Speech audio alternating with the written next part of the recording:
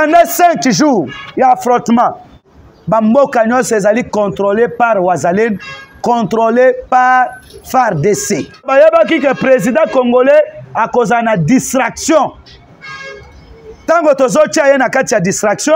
a ce moment là nde tokoyeba eloko nini tokosala mpo ete to atake france apesi go ale araforce orowakanya nyingi nyikingi donc eh, azali pio ya bafrançais aza na distraction wazalendo na nzela bu matuza matuza matuza je vous le dis on a tué 450 mercenaires blancs na wazalendo me bamindele wana bauti wapi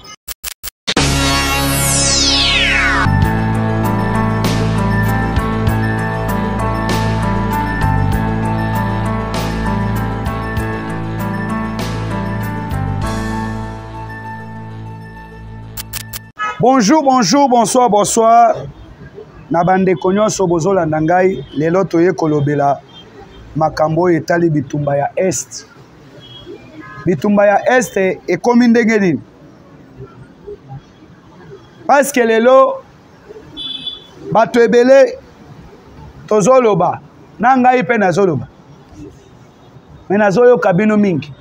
monoko na ngai eza moke boye mpo na makambo oyo etali este bato ebele bazoloba o oh, pourkui tozofrape te pourkui tozofrape te na makambo oyo etali bitumba ya est naye koyebisa bacongolais naye koyebisa opinion nationale e internationale naye koyebisa tous les diaspora oyo bazali na kati ya etandi ya monde tous les cinq continent ya monde efo boyeba ke bitumba ya est eza bitumba oyo ya lelo nalobi te bitumba mokolo ebandaka eyebanaka me mokolo esilaka eyebanaka te mpe boyeba ke tshisekedi aye na pouvoir ayaki na pouvoir efo azwa temps mpo ete atravaille parce que aye na pouvoir par le pouvoir te aye na pouvoir ya kalashnikov te Mais Tshisekedi aye na pouvoir du peuple. Pouvoir du peuple signifie quoi? Ezali pouvoir oyo akei na maponami. Aza civil. Aye na pouvoir ya maponami. Pouvoir ya maponami ezali peuple nde bavotaki ye bapesaki ye confiance mais pouvoir ya bapeuple ezalaka ndenge nini dans un pays bien organisé dans un pays démocrate dans un pays démocratique oyo démocratie evandi ezalaka continuité ya l'état ezalaka continuité ya l'état c'est-à-dire armée nationale evandi la police nationale ezali parce que nous avons trois forces dans le monde toza na force ya défense toza na force populaire mpe toza na force sécuritaire force ya défense eza nini je vais expliquer force ya défense c'est la armée force de la sécurité c'est la police et force populaire c'est population nous avons trois forces dans le monde mais force oyo eleki makasi ezalaka force populaire na mboka na biso tozalaki na armée nationale te mais tozalaki kovivre na bamilice parce que boyebi atre ya afidele afidele eza nini nayebisa bino na manière mosusu na bacontexte mosusu la fidèle c'est-à-dire signifie ce conglomérie des aventuriers ou bien les étrangers viennent occuper les, les autochtones parce que afidèle ezalaki biso te on a composé la afidèle ouganda rwanda soit disant congo na banani na communauté internationale tanzanie mpe azalaki na kati ntango afidèle ekoti awa efo babengana mobutu bazwi baoperatere militaire nyonso ya mobutu babandi koboma bango bamonaki na kibomango balesi bango na kati ya madesu bazopesa basoda na baofficier boyebaki eloko esalamaki na kibomango na kitona pardon na kitona bazwi clean clean savo clean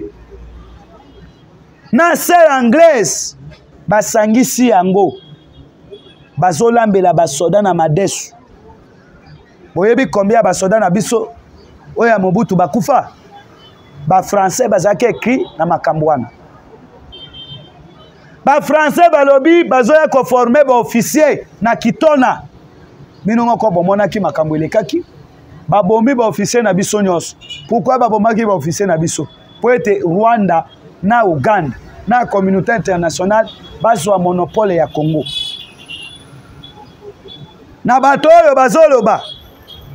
o oh, pourkui tshisekedi azali koatake te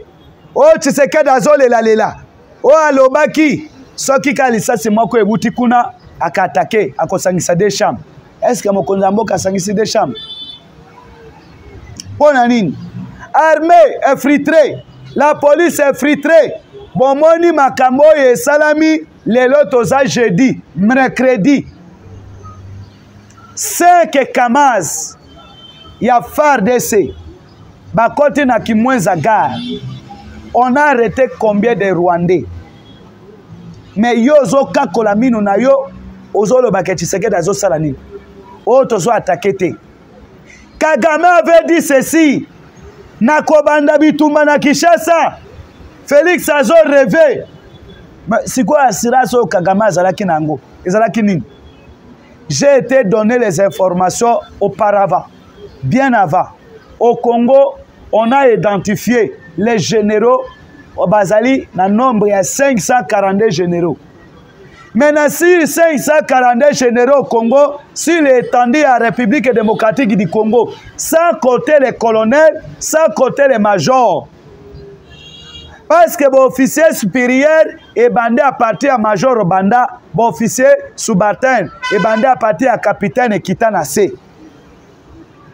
mais nous avons 542 généraux na bato wana nyonso eriekele 42 congolais mais 500 nyonso baétranger mais biso tozoloba tshisekedi azosala nini tshisekedi azosala nini tshisekedi azosala mosala efo tozala sincere tozala honnête mpo ete toyeba koanalyze makambo ezoleka na mboka na biso wi mokonzi ya mboka alobaki soki nayoki lisasi ewuti na rwanda ekwei na kati ya congo na kosangisa de chambre mpo ete bapesa ye nzela mpo ete aatake rwanda apartir ya congo nous avons tout chef akosaki te chef aza na nyonso mais deux chambre yango oyo bokoluka ya kamere ndoki rwandais burundais nde bokoluka yango kamere oyo lelo surtout bato oyo bazolinga batya kamere na assemblée nationale kamere azwi 32 vache 32 tete ya vache akei kopesa kado ya libala ya mwana ya james kabareb james kabareb oyo azalaki chef de état major international au congo chef de état major na rwanda chef de état major na uganda ministre ya défense me kamere alongoli 32 tete ya vache akei kopesa mwana ya james kabarebe mpe akei koloba james kabarebe me azwaki apechement c'est-à-dire kosakana na tshisekedi mpo ekoesite tshisekedi vraiment bato oyo bokovote kamere soki bovote kamere boyeba ke mokolo yango nzambe ya lola akozwa bomoi na bino nyonso kele tshisekedi oyo asakanaki na ye o oh, chef de l'état alingaki aya na mariage mais azwa apeshement que chef de l'état ma dépêché bandeko na ngai nazoloba sur guerre ya est kamere na 2006 kamere président ya assemblée nationale 2006 élection esalami 2007 manda ebandi kamere azalaki 2007 président ya assemblée nationale 2008 président ya assemblée nationale 2009 président ya assemblée nationale kamere mais barwandais bakoti deuxième personnalité national botala esika bacongolais toza bazoba eza mabe mpo naloba ke boza bazoba te me biso toza bazoba koma toza bazoba le congolais koma toza baimbecile bato wana bakota barwandais bakota na kati ya congo bakota na autorisation ya nani oyo baye kotrake ba fdlr oyo bautu rwandais oyo bacommunauté internationale bafungolaka couloir na epoke ya marchar mobutu mpo ete bakɔta na congo batusi rwandais bakomi kosala chasse au l'homme balandi bango ti na kasai balandi bango ti na centre afrique balandi bango ti na équateur babomi bango balongwe na est batuni kamere tozomona presence ya bamilitaire rwandais tous awa na congo baye ndenge nini kamere amoni lokola biso bacongolais toyebi eloko te toza babizengi alobi oyo te nayebi nombre oyo bakoti te nayebi mpe nombre bazobima te naye komona kaka barwandais bakoti je na ye na hippolyte kanabe kazembe o oh, kamere démissionne kamere afere kodémissionne nzoka nde bule na bango ezalaki kamere aye akoinfiltre idps parce que idps nde bambanda komona lokola gena na bango mais congolais ozoyeba makambo te oza politicien te oyebi makambo eleka na mboka na yo te ozoyeba fati nzala faci tozolia te o oh, ndenge nini bazobeta biso biso tozobeta te me yo mpo oza na pare ya responsabilité balobi congo au congolais tshisekedi aza mobali cher combattant cher congolais bato nyonso oyo bazolanda ngai tshisekedi aza mobali ya tembe linyoko ya tembe depuis 1960 congo ezalaki gouvernement congolais bazalaki na contrôle ya est te si mobutu a régné pendant 32 ans au pouvoir parce que mobutu a impoteke laisse le grand kivu na maboko ya communauté internationale mobutu asali 32 ans au pouvoir mpo na nini akabeli amérique ese mobimba na baalie na ye bafrançais na banani bomoni kutu eloko oyo bozoyeba pourkui uganda na rwanda baye kosala chat de bataille na kisangani bawelelaki banini bawelelaki minere me yo combattant yo congolais ozotuna keno faci azosala nini banda 1960 sefaci moto aye kozwa contrôle ya est ntango alobaki s'il s'agit de mourir je vais mettre ma tête à jeu pour que congo ezwa kimia mobali ya tembe alase défi na communauté internationale mais yo congolais olali lokola taba après obandi kokritike faci mais la liberté eza libertinage te c'est ma première fois ya komona libertinage eleki na liberté na congo na biso tout le monde akomi expert en matière tout le monde na basi na bamama bipopola bakomi koyeba politike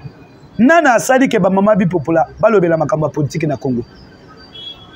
ntango epolite kanambe kazemberi azalaki awa nani abanda kokakola mino na ye mpo aloba na kabila keno andewalo ya idps andewalo ya bakombata ya idps lelo gere ya est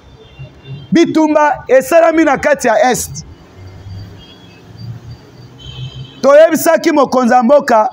eloko ya malonga ekobima na france te me mokonzi ya mboka lokola azali premier citoyen architecte du congo oyo ayebi makambo ya politike ndenge ezosalema le grand salomon au roi salomon c'est plus que salomon akendeki na europe oyoki maloba oyo ayebisi journaliste français alobi nasepelaka kokopere na poutine parce que poutine azali apartenaire sincère azali sincère journaliste français atuni ye ah poutine aza sincère ce que france baza sincère te alobi oui parce que bino boyebi guerre ya est boyebi bohotel na kwa bacommanditaire mais pourquoi jusqu'aujourd'hui bosakisonaka bango te omoni ya politicien omoni le grand politicien oyo tozobenga mukwa ntombolo mwa mai wa kalinda félix antoine tshisekedi tshilombo ayebisi bafrançais alobi poutine azali apartenaire sincère mais vous les français boyebi guerre ya est boza na main mise na kati ya guerre ya est mais bosanctionnaka rwanda te bozali derrière barwandais c'est-à-dire bozali basincère te Felix abeti Macron a face a humilier ye awa na Congo alandi ye ti na France tozoyaka na guerre ya est mais je vais expliquer bacongolais mpo ete bacomprendre makambo nini oyo ezoleka na mboka na biso boyoki poutine aprete seulement na ye lobi na mboka na ye apletaki selma lobi ye yeah. potina alobi boye na kati ya selma na ye parceke mokonzi ya mboka azalaki invité spécial makei te aokende alobi lokola iris bopesi nga confiance me nazomemela bino congo ezokóma na kati ya ris mpe ris ezokóma congo c'est un propos dit poutine alobi yango lobi bino bato bozoloba tobanda gere mokolo nini gere deja ebandi bomoni russie na mer noire atandi 10800 missile oyo atye na kati ya mer noire alobi bato américain moko te ekopase awa mpo ete ekende na europe poutine aza na position ya koatake pologne o bien france na minute oyo france bakomi kolela mpo na nini boyebi te félix antoine tshisekedi tshilombo azali architecte ye nde concepteur oyo azali kosala conception oyo bien koconcevoir schema nini akotongela ndako yo ingénieur ezela pendant 5 jours ya affrontement oyo bato oyo bakosaki bino na ba fake news oyo babotoli biso bamboka oyo basali boye lokuta bamboka nyonso ezali contrôlé par wazalene contrôlé par fardc bayaki na affrontement parce que bayebaki ke président congolais akozala na distraction ntango tozotya ye na kati ya distraction a ce moment là nde tokoyeba eloko nini tokosala mpo ete to atake france apesi go ale araforce orowakanya ningi nikingi donk azali pio ya bafrançais oke papa kanisa ye fati aza na distraction wazalendo na nzela bu matuza matuza matuza je vous le dis on a tué 450 mercenaires blancs na wazalendo me bamindele wana bauti wapi bamindele 450 me rfi asala chatage 450 mercenaires blancs oyo baza na banationalité américaine grande bretagne obio royaume uni na nationalité française bombo oyo elongwaki na rwanda ekwei na ka ya barefugie ezali fabrication française yango boyoki ntango bitumba ebundami mesike bazali très fort mpo na nini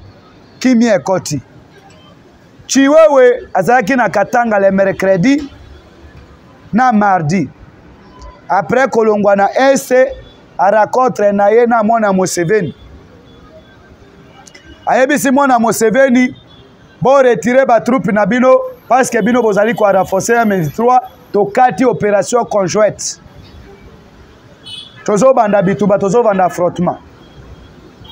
offensive tolongoli na defensive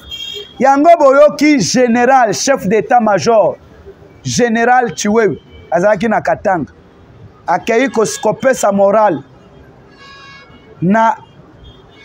unité réservée unité spéciale alobi bozokende kobunda bitumba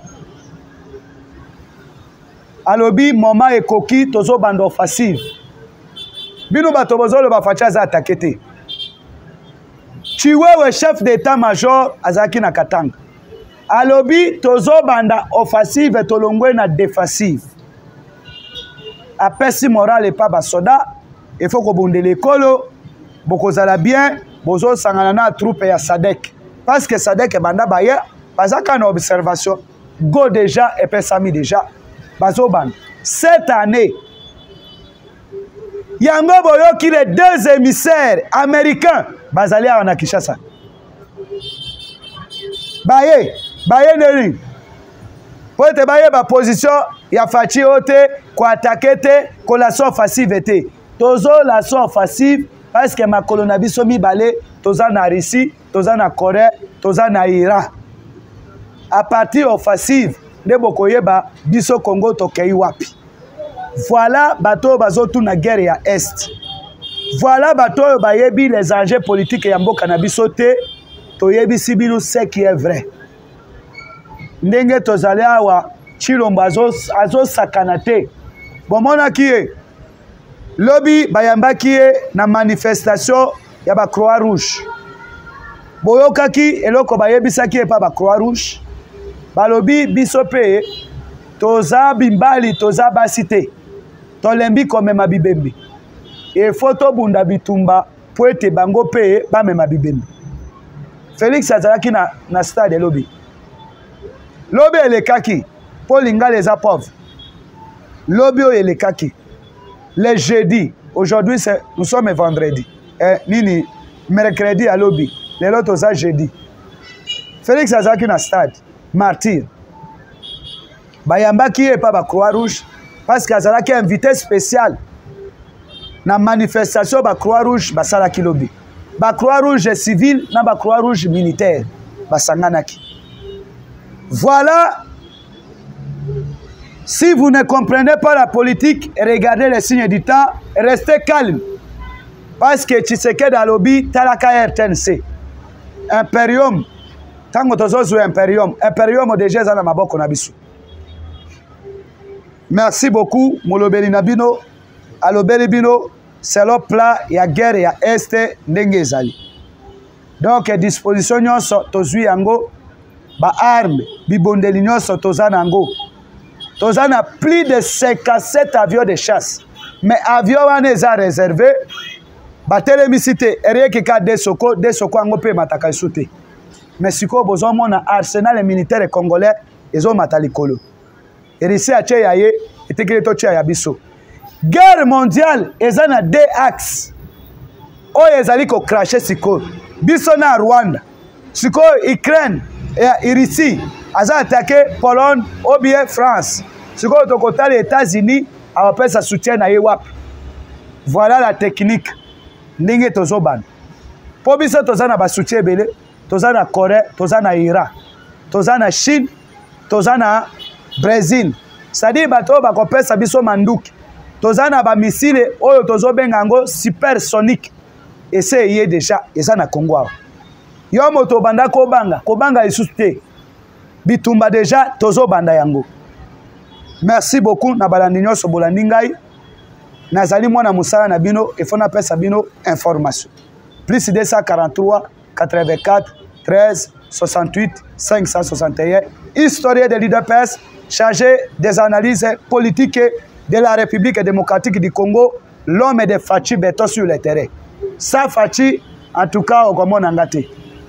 Donc, Tumbola Fachi, Otomboli, historien de l'IDPS. me bovote kamere te azali papa oyo soki papa oyo ayebaki yoyo ya bana papa tito bovote ye te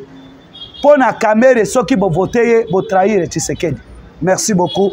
nasuki na bino lelo awa ciao